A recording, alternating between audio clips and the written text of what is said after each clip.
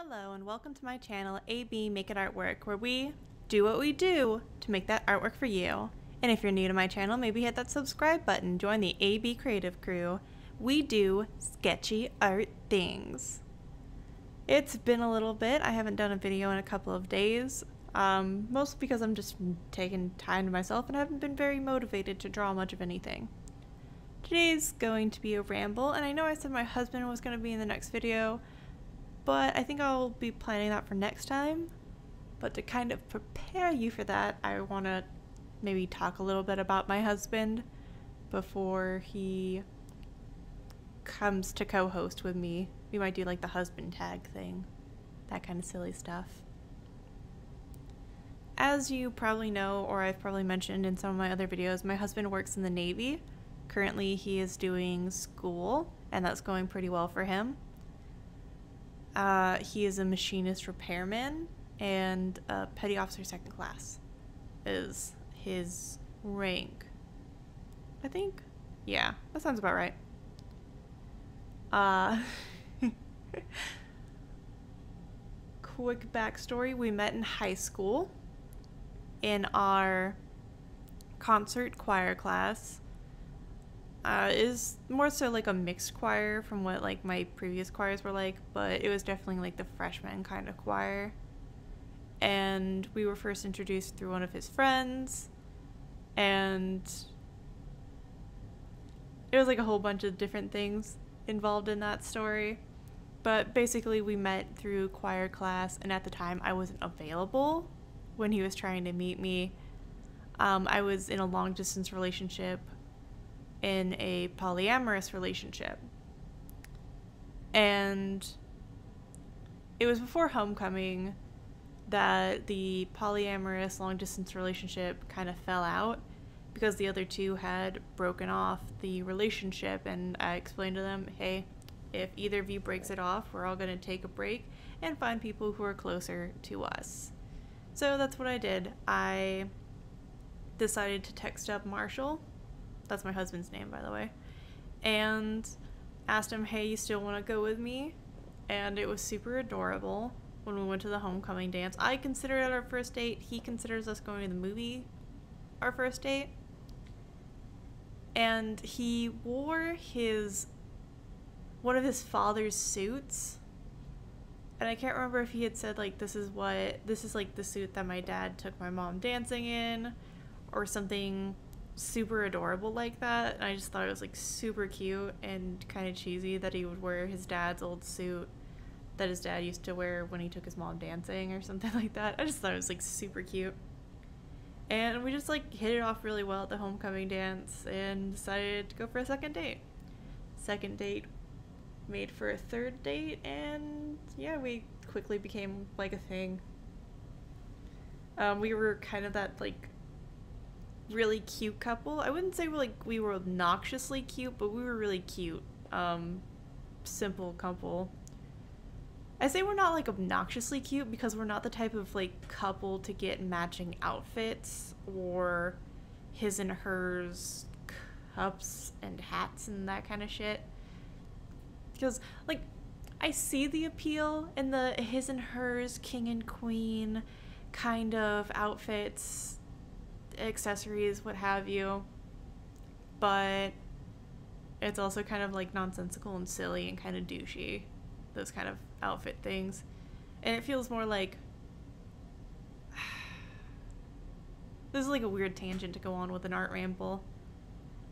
Um, I don't know, it feels kind of cheap and Instagram ready, but life reality fake. So I'm not really like into that.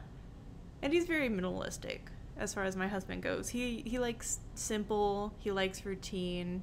And I like routine too, but I like changing up routines every now and again. But when it comes to changing up those routines, I love to plan ahead. I'm like crazy about planning and note taking and all this shit.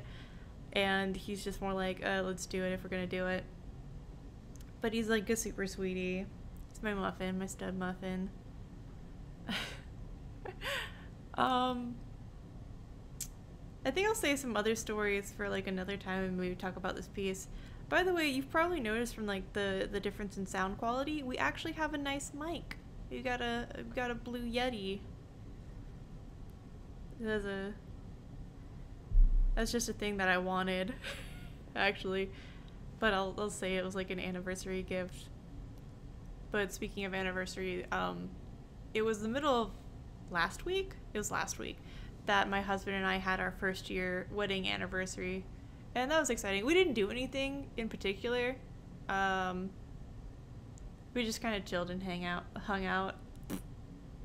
Speak goodly. But now let's talk about like this piece.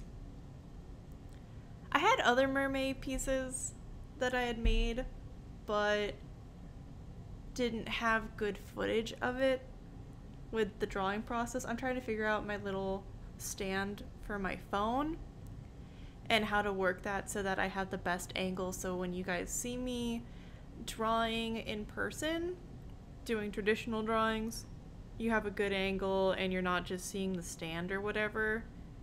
But also my phone's kind of being a pain in the butt with like transferring videos, which it wasn't usually this much of a pain in the butt, but I have to say it's probably because no Wi-Fi and the hotel Wi-Fi isn't quite as good as Guam Wi-Fi, but it's great for uploading YouTube videos. It's actually got a great upload speed. Just saying. But with these mermaids, it was just something I drew in the moment, and I really loved how they looked when I drew them. And I feel like I I keep going to this particular color palette with my mermaids for MerMay, where they end up having a yellow orange or reddish pink color to their tails and all their aquatic accessories like fins and stuff.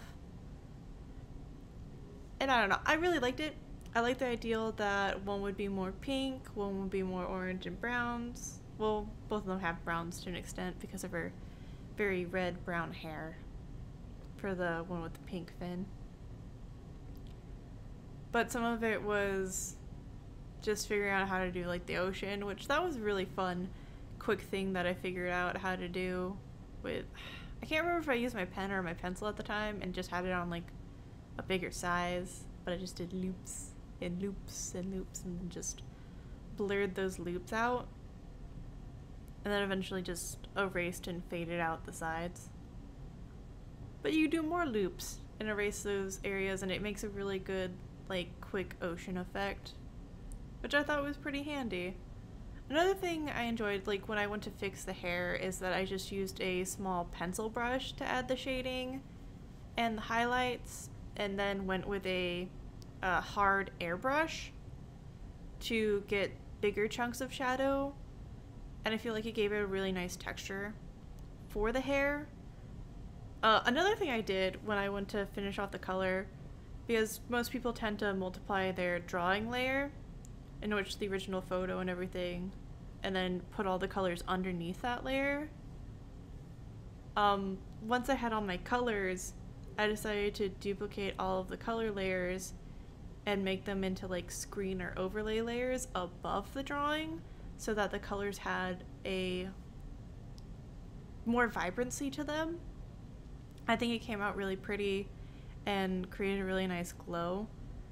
Um, I think you can see right here. I took the ocean that was like under everything and then overlaid that as well. But I think we're on the last minute of the video. If you want to find me on any of my other social medias, I desperately need to update my DeviantArt with all the pieces I've been making. You can mostly find me most active on my Instagram. I have a Tumblr, I have a Twitter, and sometimes I use Pinterest for references, and those are all linked down in the description down below. I hope you are having a wonderfully creative day wherever you are. And if you like this video, give it a thumbs up. Share it with your friends, sketchy art friends. And as always, make sure to do what you do to make that artwork for you. Bye!